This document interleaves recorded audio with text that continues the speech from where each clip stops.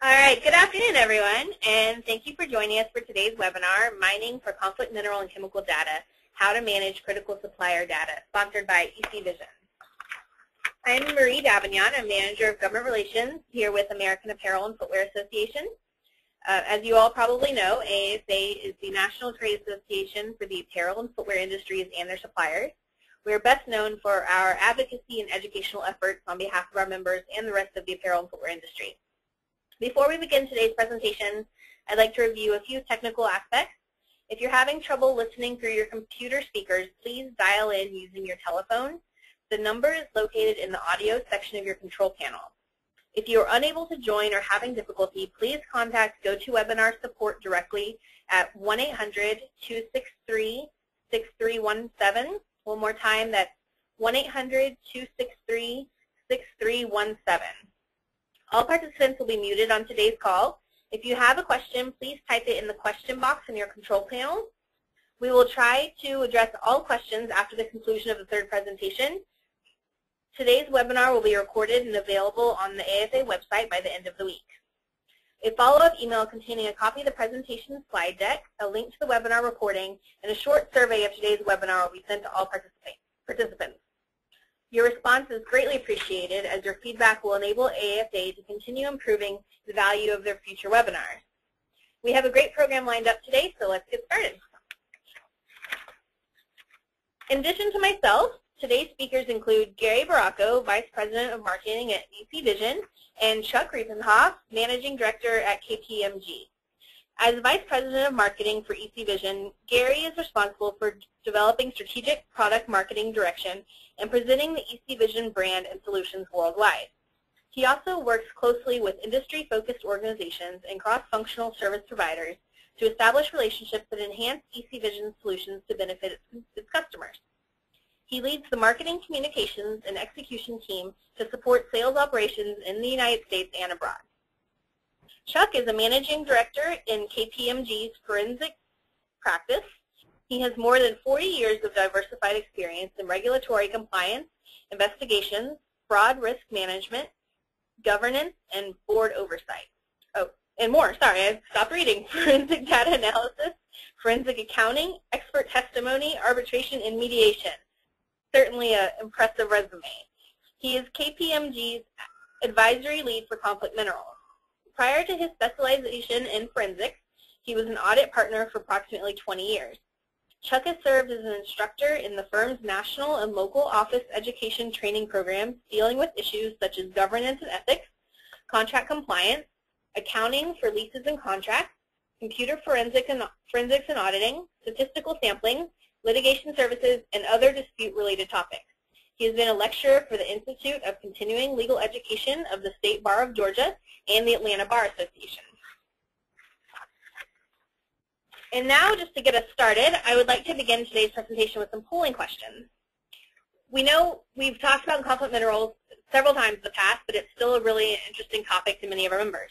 To make sure that we're not repeating ourselves too much, um, we'd like everyone to take a few seconds to answer each of the following three polling questions to gauge your um, knowledge of conflict minerals.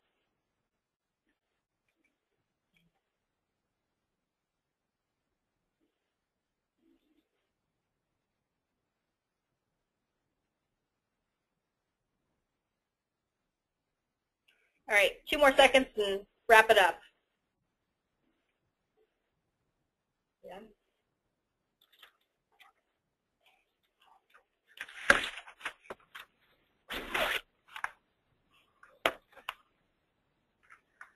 Rachel, can you go back to the results? Sure. this is our first attempt to do polling questions during a webinar, so bear with us, guys. See there's a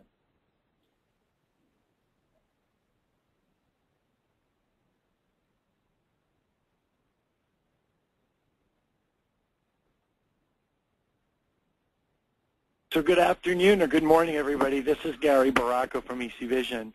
Um, it's interesting to see, we talked about these polling questions, and as Marie mentioned, we wanted to gauge where everybody was at um, currently with their conflict minerals programs. Uh, and so we had um, three questions, so I don't know. Let's see how we could display these one by one, Rachel, and see if we can figure that out. Okay. We're on the third question now, which is do you have Okay. visibility into the supplier base and chemicals. Um, and it looks like we're getting in everyone's answers.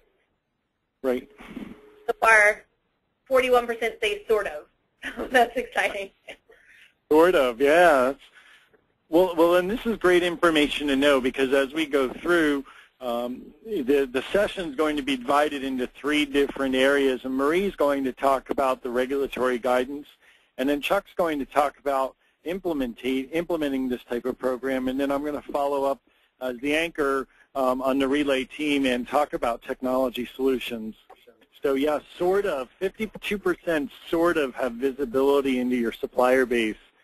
Um, that that's pretty interesting considering um, what we'll hear is that we only have a few months to kind of know for sure whether uh, we have that.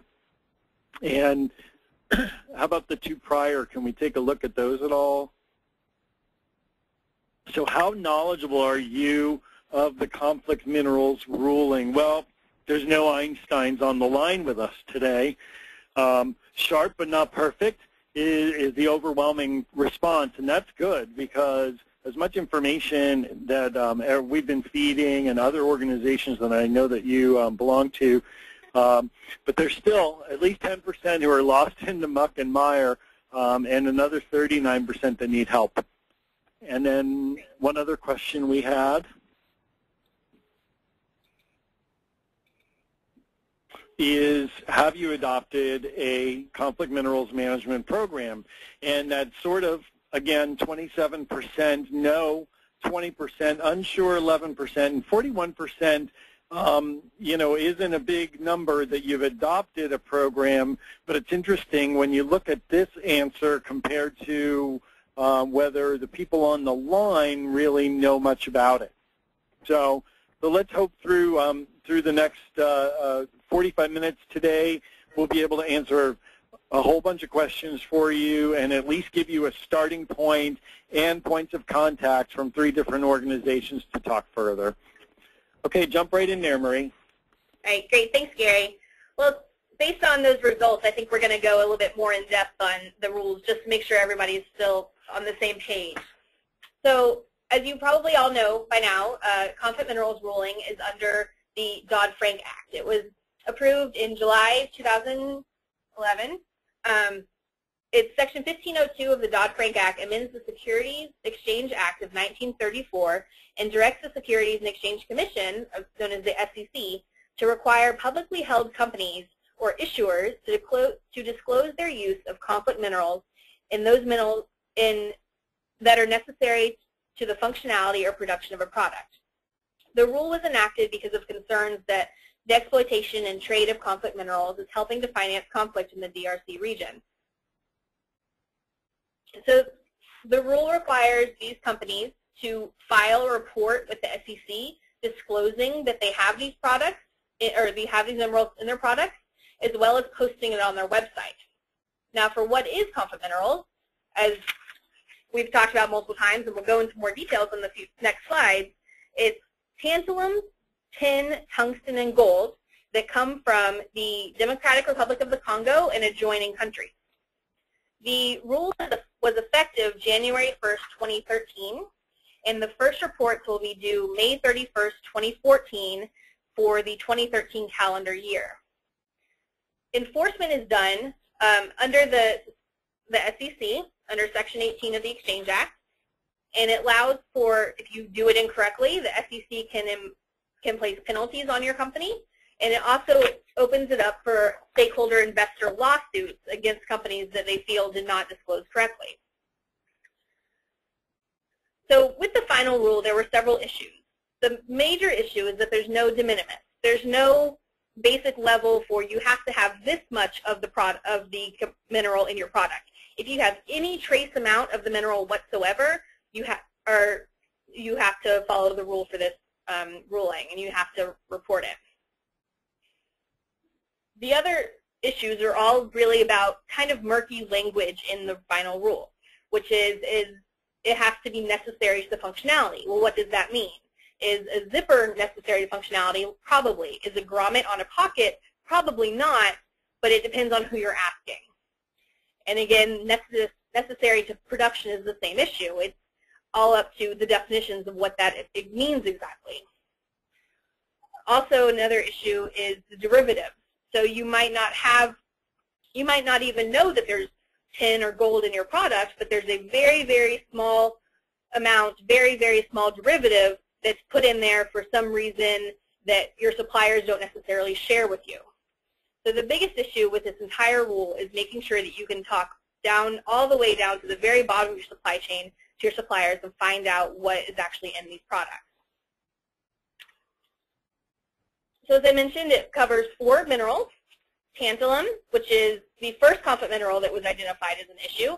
Um, it was spiked in growth in the cell phone industry, and DRC currently provides 8 to 20 percent of global production of this. Tin, which is the biggest mineral used in our apparel and footwear industry, and the DRC is the world's sixth largest producer of tin. Tungsten is DRC is the world's fifth largest producer, and gold, the DRC provides 1% of global production. And here's just a nice pretty map for you to see the countries that are covered. So it is the DRC and then all adjoining countries. So Angola, Burundi, Central African Republic, Rwanda, South Sudan, Tanzania, Uganda, Zambia. So where can these minerals appear? As I mentioned, tin is the most prevalent for our industry. So it can be in metallicized yarns. It can be used in buttons and zippers and other fasteners. You can see the list on the screen, anywhere from underwires and bras to um, the solder and jewelry. It appears in electronics that are sometimes used in the apparel and footwear industry. Um, my favorite on the list is glitter. Really, any it can be in several different places. Anywhere you might think of metal, tin is it's possible that tin is in there as well. Yeah, Marie, one of the things, um, excuse me, one of the things we've always talked about in various sessions is um, we always talk about the Christmas sweater um, and how all of the metallic beading um, or any of the trim and, and, embellishments on, you know, let's think of a Christmas sweater, for example. And while we think that um, that Christmas sweater might be the least likely product that would have a conflict mineral, it might be one that definitely does. So when you talk about next uh, uh, these metallicized yarns and the gold filament. Right. Um, exactly, just Gary said. So for the next three, they're less likely to appear, but of course gold is an issue, especially in jewelry and metallicized yarns. Tantalum, to some extent, is a composite material in watches and electronics. Tungsten, we're still trying to figure out. We haven't had any companies so far find out that tungsten is in their products. Um, but it doesn't necessarily mean it's not. It's just not prevalent in the apparel and footwear industry right now. So what have we done to help companies comply with this? We have on, you should go to the AFA website and there's a guidance that we've created for conflict minerals. It takes you step by step through how the rule works and how to comply. Um, once again, the first reporting date is May 1st, or May 31st, excuse me, 2014. So it's coming up pretty soon. We've also worked with several other industries to make sure that we're, it's, you know, this is not an issue that just affects us, it affects all industries. So understanding how maybe the toy industry is complying or the electronics industry is complying is helping us as well. And again, this is just for the guidance that goes through all these steps, how you can comply, understanding what the rule means.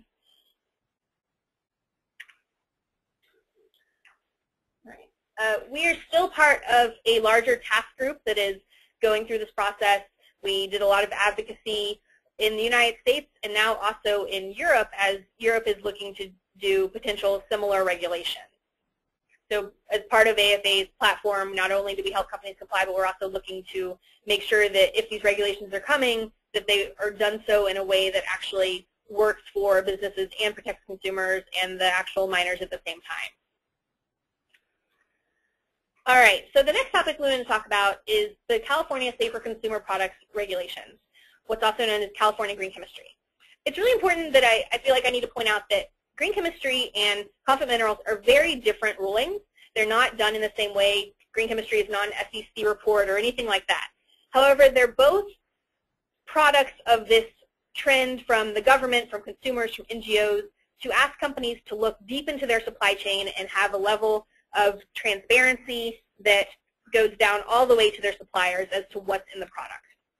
So green chemistry is just another example of a ruling that's out there that's requiring you to look as far downstream as you, or upstream, I guess, as you possibly can in your supply chain. The California Green Chemistry Rule was created and enforced by the California Department of Toxic Substances Control, DTSC. It was proposed years ago and has gone back and forth on comment periods probably a dozen times in the past couple years, but officially went into effect October 1st, 2013. Now it's interesting that it went into effect that day because nothing really happened that day. We're still waiting for them to come up with the final list of products that we have to report on, the final rules on how to report and things like that that I'll get to in just a minute. But I wanted to point out that though it's in effect, there's nothing to be done quite yet. So as part of the rules, DTSC will create a list of candidate chemicals. It's already done this on its website. Um, it has two different lists. One is the informational, or the first informational list, which is about 1,200 chemicals. And then there's an initial candidate chemical list, which is around 250 right now, which are the ones you actually should be aware of.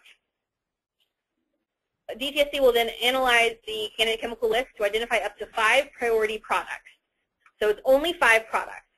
And then any of the candidate chemicals that are found in those five priority products will be considered chemicals of concern and if you make a product with a chemical of concern in it, you must then either perform an alternative analysis, prove that the product does not exceed the predetermined alternative analysis threshold level, or take the product completely off the market.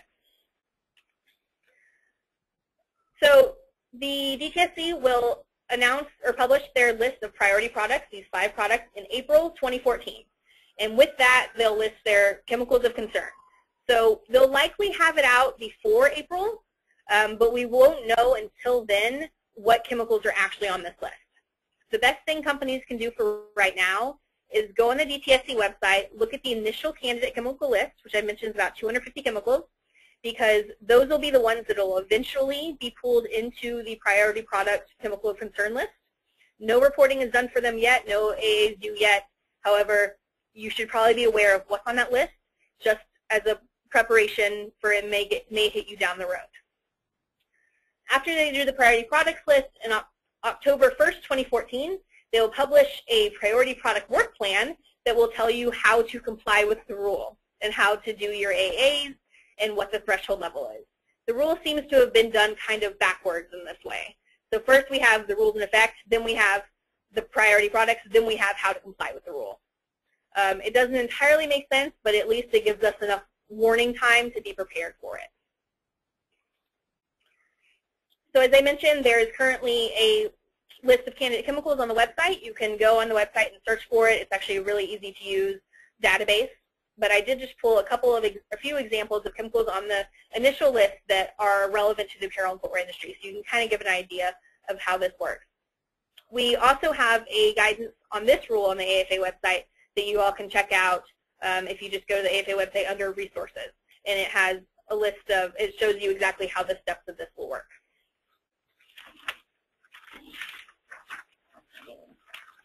All right, so next up we are going to have Chuck from KPMG. Now, just one thing, Marie. Um, sure. We're going to hold the questions until the end.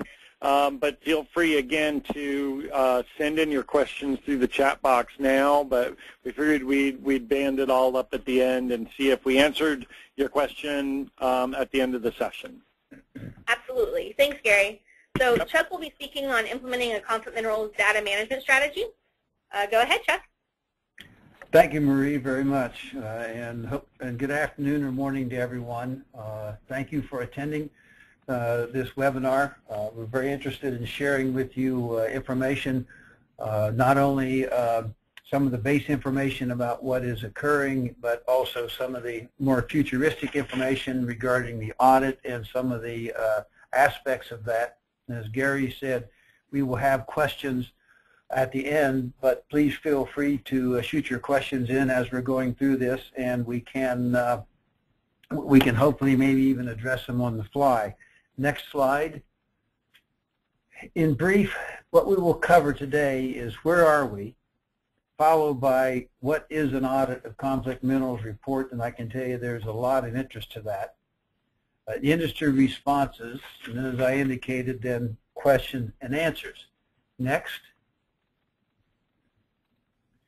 So where are we today? Um, this is a slide I have been using for a while now, and that little red arrow keeps advancing uh, towards the report date, which is uh, June 2nd, since May 31 falls on Saturday.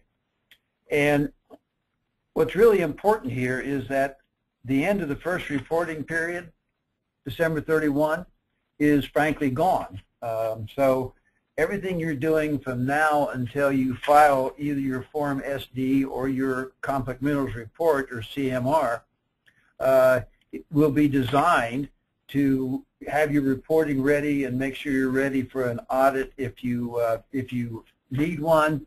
Make sure your documentation is in place and gathering the important information, um, for instance, information that comes from tools like Gary's regarding what your suppliers' responses and what it what they tell you. And we'll deal with those, what they tell you a, a little bit as we're, as we're going through this. But there are a few questions that you should raise within your own organization and think about where you are at this point. One of those, do you have a timeline established to finish? Uh, we have found organizations are starting to benefit from going out to the filing date and working backwards with a timeline so they understand how much work is, le is left to do and they're finding it's, uh, it's pretty significant. Which of course leads to the next question is have your resources been allocated and assigned? And that's both internal and external resources. And finally, do you know whether you will need an audit? And as you will see as we go through these through this presentation, how very important the answer to that question becomes. Next. So the purpose of this slide is to clear it all up. Uh, and of course that means all those regulations, 200 and some pages of them, everybody looked at, we boiled down to one slide. And I wish I could get away with that a straight face without start laughing. But, but here's what the slide tells you. It's basically broken up into three sections. The first section deals with if you're free of conflict minerals. That's a very important segment because that basically means you don't have to do anything, which is good news. The second segment is if you use the metals, but you did not do not source from the covered countries, you will then file the Form SD and its disclosures only. Then finally, the third section is where a significant number of companies are finding themselves today is that they source or have reason to believe they're sourcing from the covered countries. And they're not sure whether they're conflict-free or where they have conflict or where they're undeterminable, which is what we, what we refer to as sort of the mixed bag. And a key to this is what happens with the audit requirement related to those. If you know that you're conflict-free and sourcing from the countries. Or if you know that you're not conflict-free and you're sourcing from the covered countries, you will wind up having an audit for 2013. If you're undeterminable, you will not have an audit for, for 2013. Next. So let's talk a little bit about disclosure requirements. This slide is also developed into three segments, and it really helps get an understanding of, of what really is required. So if you are DRC conflict-free or not found to be DRC conflict-free, your CMR will have to provide descriptions of the measures that you took to exercise due diligence.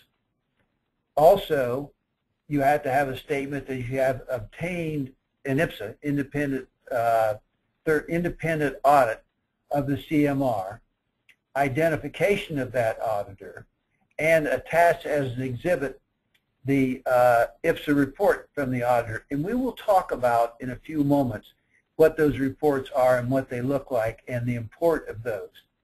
So if you just slide over to the middle column for just a second, you'll notice the first four bullets are exactly the same.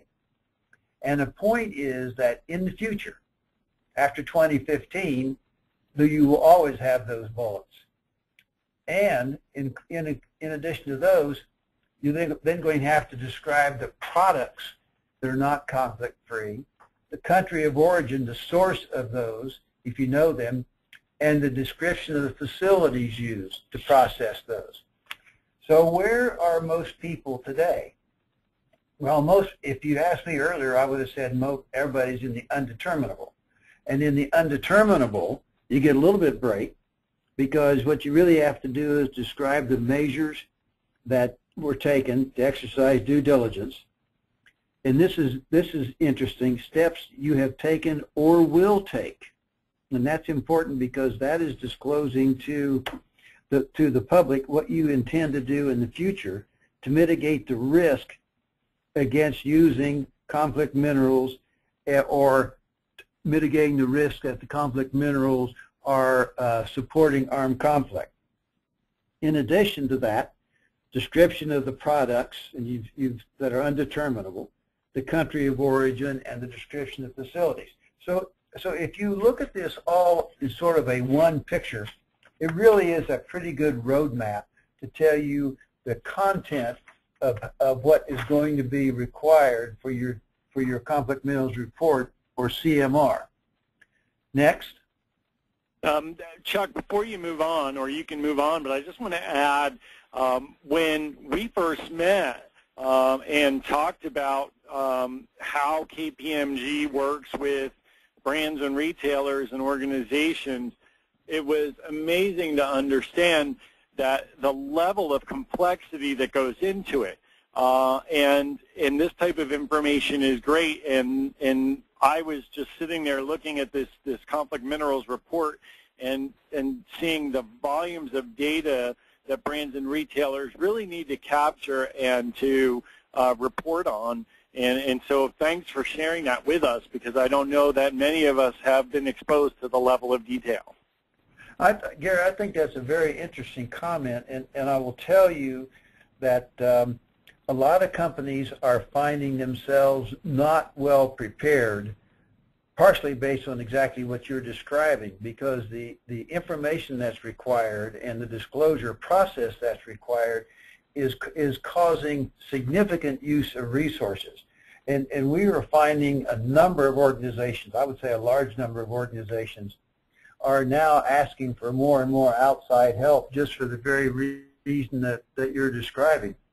It's just phenomenal what you have to go through to gather the information just to be able to, to disclose, for instance, in the, in the undeterminable category. And one right. of the things we, what we recommend that companies do is start with your family of products as disclosed in the 10K as your basis for beginning to decide what your disclosures look like.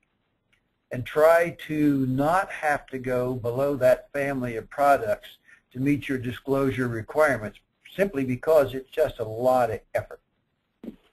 Uh, right. So what's happened here, Chuck, is you know we've got so many cross-functional um, teams within a brand or retail organization that need to come together.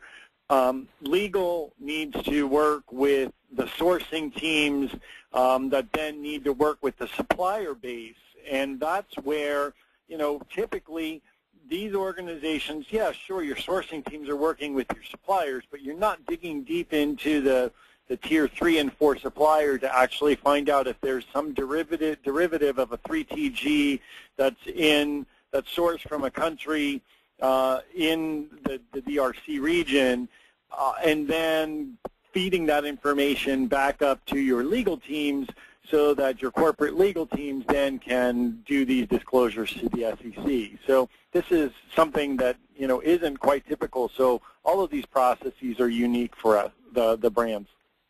Yeah, and, and you need to add to that not only the corporate legal team, but the SEC disclosure group, uh, right. because uh, this is in fact a filing Uh, and so the SEC disclosure group, uh, most likely the uh, disclosure process will be brought to bear here, internal audit, um, IT, uh, all these groups uh, are being required to, to work together it, to, to meet that uh, meet that particular deadline. That, that, that, that's a great point. Thanks, Gary. I don't want to get too far off topic, but just Marie mentioned earlier that we need to understand it's a clear differentiation right now between conflict minerals reporting and the California green chemistry, but the likeness is that California green chemistry means that as a brand and retailer, you're going to need to dig deeper into your supply chain and produce something. Additionally, um, we, we haven't even talked about the SB 657 and the potential uh, federal ruling that ties into human trafficking. And if that passes sometime um, this year, then there will be another SEC filing for brands and retailers regarding human trafficking and transparency into their supply chain from for that.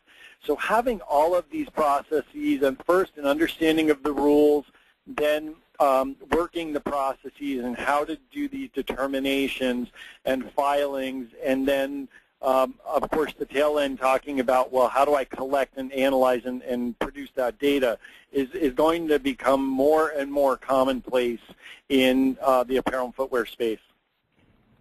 Yeah, and you can add to that the, of course, we all know that California has passed their own version of human trafficking, uh, but you can add to that the uh, European uh, requirement that's under development. In fact, uh, our sources tell us that originally they thought it would be next year, meaning probably 2015, but it looks like something's going to be developed in 2014. The Canadian requirement, uh, which is um, close to being passed, which more mirrors the U.S. compared to the European requirement, the EU requirement, which is uh, at this point considered to be uh, much more extensive and requiring other uh, other disclosures. You know, the, the concept here really is one of, of detect and disclose. So determine if it's being used and then disclose it. And somewhere along the line, someone caught on to the concept that if you force somebody to detect and disclose, you can then use the shame on me routine to try to get them to change what they're doing. And that's a lot of what's behind this particular, uh, this particular act and other acts to follow. The, the, um, the Form SD, and I'm only going to spend a sec, uh, just a second on the Form SD. It's been re-released by the SEC did not provide uh, much clarification around it. The form itself, frankly, is not that uh, is is not that difficult. There are disclosures that are required, which which uh, relate primarily to the uh, undeterminable and to the other disclosures that that we just talked about. There are two very important points to think about here. One of those is that you need to determine early who's going to be the signator because whoever signs this is going to want to know about the processes and, and is going to want to know what's going on because among other things are Section 18 liabilities associated with, with signing the Form SD because it is an SEC filing. And the other is there, there may be an audit process against it. And so the, whoever, whoever the individual that's going to ultimately give representations to the audit, to, to the auditors, really needs to understand completely the process. Next. So having mentioned the audit a couple different times, uh, why don't we talk a little bit about it? Uh, and let's look at the next slide. And I'll tell you a little bit about this. And this is a good reference slide to keep around because it does provide some direction about where things look like for 2030, for 2013 and 2014 and where they look for 2015 going forward. Remember, 2015 is the period that says if you still don't know, if you're still undeterminable, you then have to have a new category called not determined to be DRC conflict free. And if you look to the right side of this slide, you will find that after that transition, an audit is going to be required every time. So after 2015, there will be audits required. And there's some background here to share with you, and you, and you may be experiencing this yourselves. Originally, the concept was that companies would have, would be undeterminable for 2013, and 2014 would be able to sort some of it out. But what's actually occurring out in the marketplace, and companies in your industry, I, I can add, are finding out that they in fact do have a filing requirement, uh, that they do know enough to, to determine if they're conflict-free or not conflict-free, and they're having to face an audit in a period of time when the audit was not expected to, to be addressed. There is an important item on this slide on the left side, second uh, box down where it says some CM known to be conflict-free. So here's what's happening, and I'm willing to bet some of you have had this already. You have some suppliers, a minor number of suppliers are telling you, yes, we're sourcing from the conflict, we're, we're sourcing from the uh, conflict areas. Yes, they're conflict-free, and while the rest of your suppliers are telling you they don't know. We're hoping the SEC is going to provide some guidance shortly, and that guidance will be uh, what to do in that event. It might be facts and circumstances, so you could be in a situation of saying, we only have a few, so maybe we don't have to do an audit, and we just don't know where that's going to come out yet. Next. So here's what's going on in the audit and, and I'll, I'll, try to give you give this to you at a, at a very high level. Here's what's going on. There basically are two audit objectives. One of those is whether your plan, your scheme sometimes is referred to, meets the requirements in all material respects of the OECD guidelines. Unrelated, and this is very important, unrelated to that objective is whether your description of the due diligence measures performed with respect to the period, of course, are consistent with the due diligence procedures that were undertaken. So let me endeavor to straighten that out. They're not related. So whatever your design is, if it meets the guidance of the OECD, that's going to be audited and the auditor will say, yes, that meets the guidance. What really happens in the second objective is whatever you write in your CMR is not only going to control the audit scope, but that's what's going to be subjected to the audit. It will, there will not be an audit that says you implemented your plan. That, that simply will not happen. Uh, next. So two very important points with this auditors are going to only audit what is related to the two audit objectives. They will not audit anything else. Language is extremely important. Auditors cannot audit best in industry, best in class. We have the best program around our competitors. They just can't do that.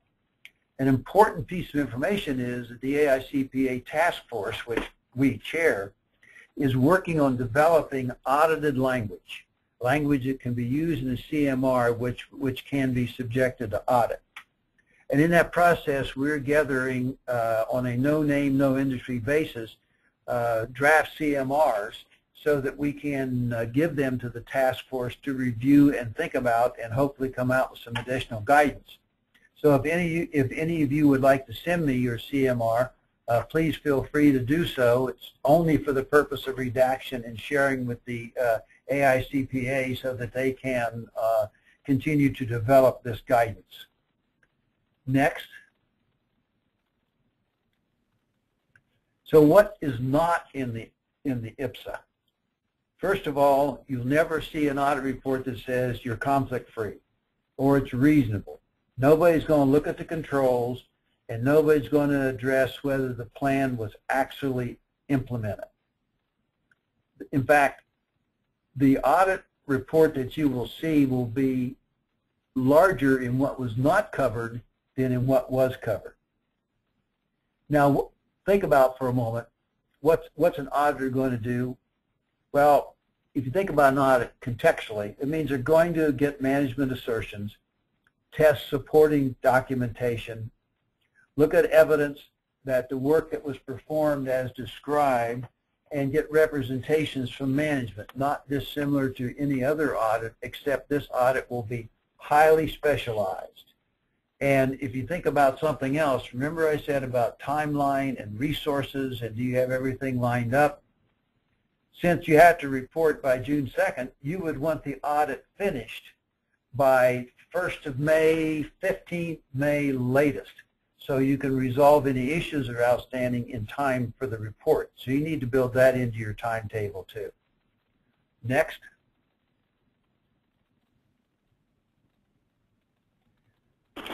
So Hi, Chuck. just a moment. Yes. Um, after this slide, I'd like you to jump to because we're um, we're gonna we're running short on time. I'd like you to Yeah. jump after this slide to the one that's um, lessons learned about your clients' processes. Perfect. Okay. Yep. And, That's and again, idea. to everyone on the line, all of these are be available uh, at WeWear.org, and uh, and they'll be sent. Uh, you'll be sent a link right after the webinar. So- So if you can just roll through on the slides, Marie, to get to, uh, Yeah, the client's processes because yeah, keep this going. slide is a great. Stop um, right there. These are good reference slides, but then going here would be ideal. Yeah, so I I noticed in the, in the responses um, regarding where you are with your CMR program, uh, that, that like other companies, some of you are trying to figure it out, other companies are trying to, trying to move forward. So if you just consider what's really required, and, and these are lessons learned, we have learned that the strategy is extremely important. Get the upfront scoping done. Don't do this on a division level. We've, we've learned that's a problem. That's probable. Um, there's due diligence that winds up being required to be done because you didn't expect to be there. And I think this is very important and very important to what Gary does is that the supplier databases are not current. It's amazing how many of them are not. And that does cause problems uh, with Gary's group in terms of getting information and moving that information back to you quickly. Resource requirements are generally understated, um, and there are substantial difficulties in getting information that you need from your suppliers. And I think those are probably the high points from that. So Gary, thank you for getting me to that slide, and I'll turn it over to you.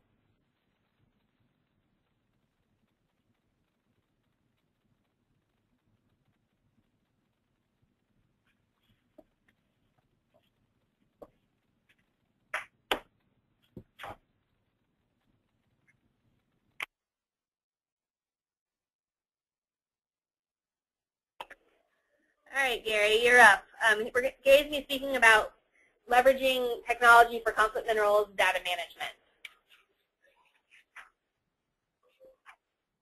Unless we lost him. Gary? Ga- Gary, Gary sounds like he's really quiet, doesn't he? That's never happened before. All right, well, Well, you'll probably, there you go. Um, boy, I was halfway through my presentation. Now I'm unmuted. Um, and so How'd that presentation go, Gary? Uh, it's great. Um, so uh, we will address everyone's questions because we have about a dozen questions. So if we don't do them while we're on the webinar, we will address them after the session. Um, so Marie and Chuck, thank you. You told us that, you know, first of all, we need to identify the three TGs in our, our products, that we need to perform some sort of reasonable country of origin inquiry and exercise all of this due diligence on on source of, of the materials that are in our products and the chain of custody, and then we need to file a conflict minerals report. Um, and that's great. There's a whole lot of work to do, but next slide will tell us that really if we collectively look at that, how do we implement this type of solution?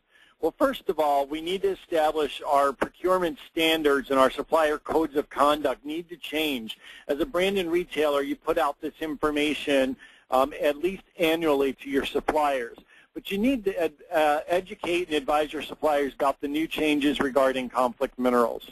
Then your suppliers need to do the due diligence and do their product content declarations and tell you, okay, what's in this and where do I where do I get that from? And or where does my raw material supplier get their raw materials to make these products? And then as a brand or retailer, you need to then create a report. So let's look at those steps first. Next slide.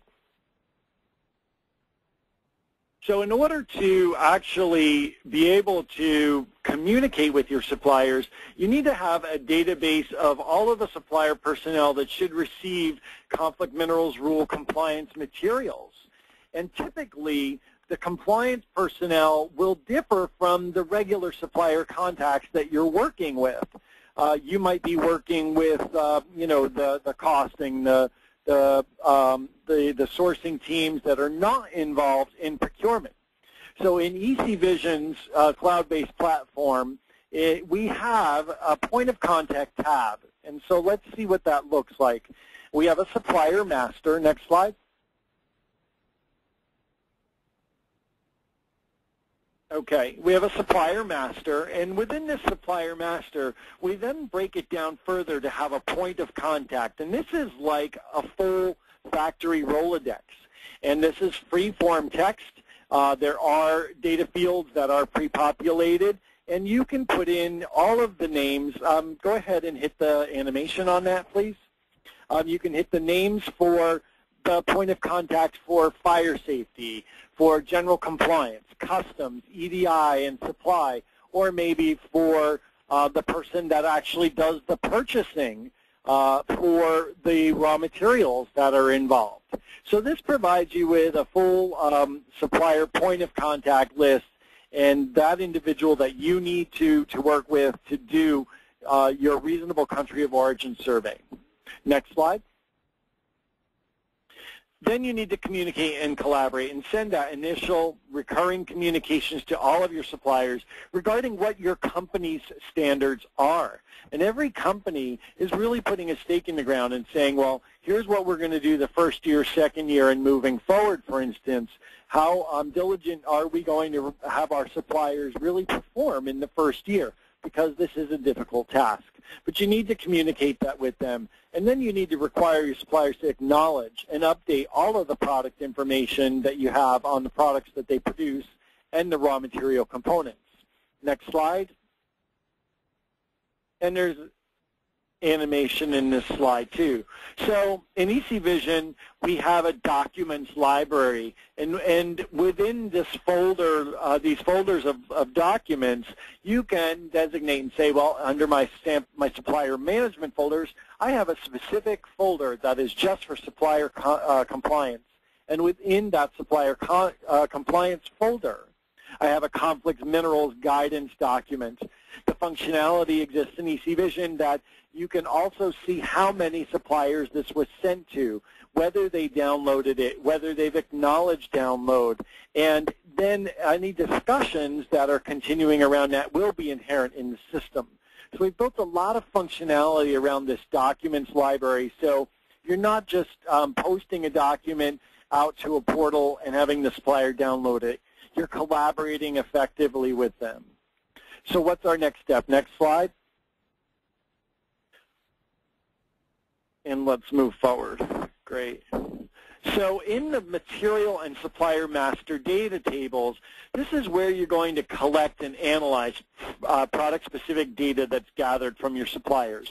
So your suppliers will use, that, use the OECD forms, for instance, that Chuck referred to, to actually determine what the source and how much of the three TGs are in any of the products and, and whether they're uh, used for functionality, all of the required elements. But then you need a place to capture all of that information and to report on it. So let's look at the next slide, which will show us a screenshot of ecVision's solution uh, to, that shows you a material master. Now, Marie mentioned a grommet. Um, so in this case, this, uh, this grommet is sourced from two different suppliers that you see on the left-hand side. And some, one of the suppliers actually has uh, conflict minerals evident through the determination, whether it's needed for functionality, whether it contains metal, but, but all in all, is it DRC free because of the country of origin? So this data table allows you to compile information about the specific components and then have your, your supplier's supplier uh, actually tell you what the subcomponents uh, and the minerals are within this grommet and determine whether it needs to be flagged for conflict minerals reporting. Next slide. We've also talked about other chemical regulations. So we talked about the California Green Chemistry Initiative, and um, some of us might have seen the Greenpeace report that came out a few weeks ago, and then most of us are familiar with the AFA Restricted Substance List, or RSL. So regardless of what you're actually tracking and tracing within the products that are in your supply chain, whether it's for a restricted substance with, uh, in Maine or Oregon or the state of California, or it's substances that exceed certain levels, acceptable levels, um, that might be called out in an NGO report, or if it's on California's green chemistry priority product and uh, chemical of concern list that they'll be publishing next year. You need the tools to manage and report that data. Next slide. So the last piece is is looking at the product master.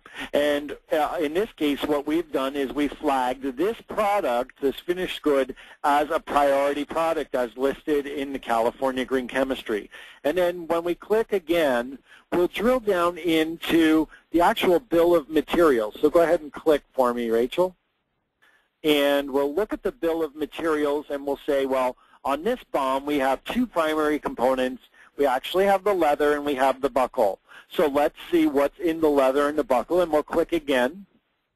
And we'll drill down into all of the chemical composition and determine, well, within this buckle, we down on the bottom, we're capturing all of that data that says, well, you know, here are the different minerals that are evident and what their acceptable levels and thresholds are within the system. So we've taken a supplier and we've evaluated a supplier, then, then the product that comes from that supplier, and then the BOM and the raw material components that all go into each specific product and piece of the BOM. So this allows you to capture all of that information. The last step is, let's move on to the next slide, is having the capabilities then to report on this. And our reporting capabilities in ecVision Suite are very strong and robust. So for instance, if you want to produce a report that tells you the number of suppliers that you have within the DRC or surrounding regions, the number of materials that are conflict-free or, free or non-conflict free, and then all of the related products that might be um, non-conflict free. So you might automatically eliminate a whole bunch of products because they are definitely not, so, there's no raw material source from the DRC or any conflict regions, or they might not even contain any metals, any of the three TGs. And then finally, what's really important is running a report, a yearly report on non-conflict free products and determining what is actually you need, it is that you need to report on to the SEC. So this is how we're connecting all of the sourcing suppliers and sourcing with all of the legal and the SEC filing teams. Next slide. Um, also, we talk about ways to capture and exchange data because this is really important. And through ecVision Suite, we allow this to be through integration. We're integrated with a lot of test labs, and I'll talk about that next. All of your external users can be entering in the, uh, information into the system, or your external users as well. We can import flat or Excel files. We also have strong mobile capabilities, so you can use an iPad or other um, iOS devices to enter information and capture that. So the flexibility for your suppliers and all of your internal teams to report information is readily available. Next slide. I talked about the linkage, and ecVision has connected with all of these um, compliance and testing partners. And these cover about 95% or more of all the compliance-related uh, services for the apparel and footwear industry. And what we're doing is pushing data back and forth so that you can report on all of the testing results or the, the compliance audit results between ecVision's platform and these third parties. Next slide. So I think that's all I had to talk about. So now we can get to some Q&A. Great, thanks Gary. Unfortunately, we're running really short on time, so I think maybe we can take one question, and that's about it. Um, We've got four minutes. all right. Well, yeah, let's talk fast. Okay. All right. Our very first question we received is, do you have a source for the slide discussing the level of conflict mineral production out of the DRC? Um, I actually don't have that source right now, but we can certainly pull it up and email it out to everyone. Okay. So the second question is more of just a comment on tungsten, probably not so applicable to AFA, but we have found tungsten in hiking poles and dart tips. Hmm. That's actually really interesting. Um, we actually we do a lot of work with outdoor companies who make apparel but also make things like that. So it is certainly relevant to those companies. Yeah, Marie, and I think that um, uh, golf clubs is another, and ecVision works with some sporting goods companies. So um, golf clubs is another area. And we have a question that says, do these rules apply to private corporations? Gary, you want to take that or you want me to? Chuck? Yeah, I was going to say I might make a remark on that. Uh, private companies are not required to report publicly, but what we're finding out is that the uh, public companies who, who need to get information from the private companies are asking the private companies to perform many of the same procedures because the public companies have to have something to rely on to, to report in their public documents. So we're seeing more private companies going through this process than I think anyone expected. Great. And, I- actually, and I guess as, as a wrap-up to, to the whole session is that, you know, what are, what are the repercussions if we don't file? And, um, you know, what could happen? And, and we don't know yet because down the road, we don't know if the NGOs and activist organizations are going to look for these filings and see whether um, any publicly traded or private companies are really trying to eradicate conflict minerals from their supply chain. And, and so I think it's going to be a good practice for everybody. Um, you know, I, I think we, we saw those poll results. Everybody, you know, 54% are doing something or, or another, but everyone has to be really keyed into the entire process, um, look at the information that's available, work with um, third party, whether, you know, it be a technology provider like ecVision or a consulting group like KPMG, and of course our trade associations like AAFA are key to keeping us um, advised of what's going on around all of these trade regulations. Well, thanks, Gary. We really appreciate that. Um, that you have that much confidence in us. We're certainly trying to do the best we can to make sure that everybody's up to um, understand what's going on with regulations. We're happy to be a resource for anyone who needs it. Um, with that, I think that we're about out of time, so it looks like we have to wrap it up. I want to thank our speakers for providing us with such valuable information and all of our attendees for joining us today. Again, if you put a question in the question box and we haven't it didn't answer it, we will certainly respond via email. Um, and then again, you can email any of us directly. Our email addresses are on the slide. As a reminder, this webinar will be available on the AFA website by the end of the week. You will receive a follow-up email containing links to the webinar recording and the presentation slide deck, and please don't forget to fill out our webinar survey. Additionally, if you submitted a question, or I said this, um, we'll certainly get to that. Be sure to check out www.wewear.org for more information on our upcoming webinars and events and ecvision.com and kpmg.com to learn more about the topics discussed in today's webinar. Thank you again, everybody, and have a great day. Bye now.